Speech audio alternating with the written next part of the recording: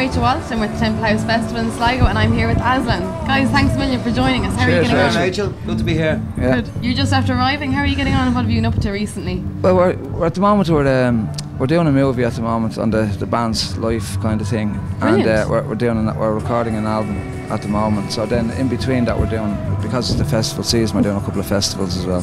So we're looking forward to this tonight. So you're doing something like a little reality show or something? Yeah, it's kind of yeah. It's it's we're, we're 30 years as a band Yeah. together. So this is we're 30 years next year, I think. So we've been making this film for the last couple of months. So you know, just things like this. We're coming out, just filming little snippets, and we're going to we've been joining them all together. So Documentary type thing? yeah, sort of. Brilliant. Yeah. There's, there's actually, if anyone wants to see any clips of it, there's two clips put up on our Facebook at the moment to just get an idea of what the documentary is going to look like. Yeah. But it's great, it's great doing it because th- there's so much, because we're around for 30 years, there's so many stories to tell. Yeah. So we're trying to pick out all the good ones and put them in. This footage you probably end up on it actually.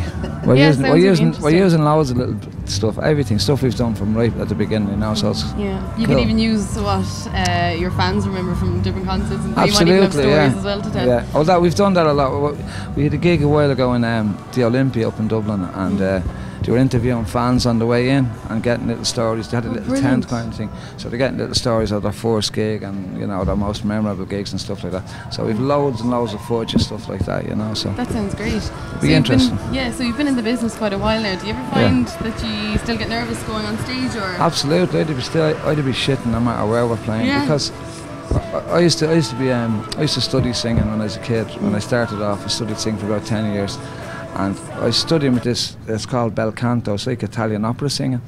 And I remember I was going to him about eight years to my teacher, and I went into one day and I said, "Look, I said, what's the story?" I said, "I'm still shitting myself before every gig." Yeah. I said, "I'd be nearly vomiting before the gig." And he said, "Look," he says, "He says when you, he says when you're nervous on stage, he says." The audience pick up on that subconsciously and you're kind of telling the audience that you care enough about the performance that you're nervous right? He says if you don't have that nerves he says you come across as arrogant and cocky. He says so if you ever lose that he says it'd be, it wouldn't be a good thing. So I didn't consciously hold on to the nerves because of that mm. but but they still because you still cared about your performance you know what I mean? Yeah.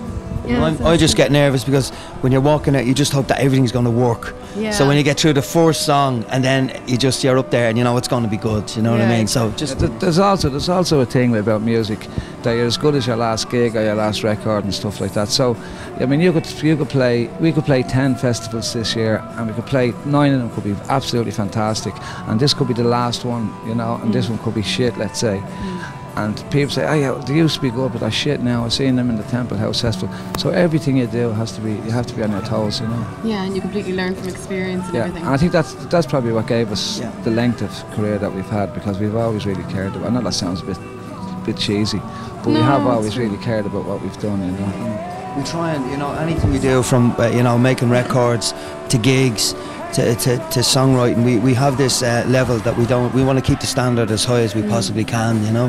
And especially with gigs because people say to us like why, why are Aslan around so long? And I think myself personally it's because we're a good live band. And Irish people aren't foolish. If they pay money to see it and, and they don't like the gig they won't go and see it a second time. And you know we've been around for so long and we've built up such a fan base that we must be doing something good you know? That, that, that's one thing. Like you, you find that even when you go away, if we go away or we're doing gigs anywhere else, other ba- bands from other countries even say. The Irish, the Irish audience are a great audience when, you, when they're on your side, but they'll tell you in a heartbeat if you're not if you're not delivering. You know, so yeah. it's, it's a good training I you could say we're an honest audience. Yeah, and that, that's a good thing though, you know, because you know there's too much bullshit going around, you know. True, true. But um, so you're excited for tonight, or are you? Absolutely, yeah. Looking forward to it. I mean, Well- Lisa Hannigan is on at the moment, so we're dying to see her because we think she's brilliant. But then there's friends of ours who are just on before us. Something happens, Tom Dunne and the lads, and we know them from like gigging early, the early 80s in Dublin, you know, uh, in the Revenue Commissioners Club and the Baggot Inn and places like that. So we're going out to support something happens before we go on. But we're so looking forward to our own gig as well. Brilliant. It's always it's always new. This we haven't played here, you know, so this is new and fresh for us. So there's always something something fresh that, that, that keeps your interest and keeps you excited. So like even the nerve thing, it's a, it's a good nerves, you know, it's a it's a nice nervous thing. Brilliant. Well, listen, go out and enjoy yourselves. And Cheers, watch Rachel. Flanagan and a few Thanks, others. Rachel. Thanks very much. Thanks a million for having time. Thank you, Rachel. Thanks very Thank you. much. Great Bye. talking to you. Good luck. Respect.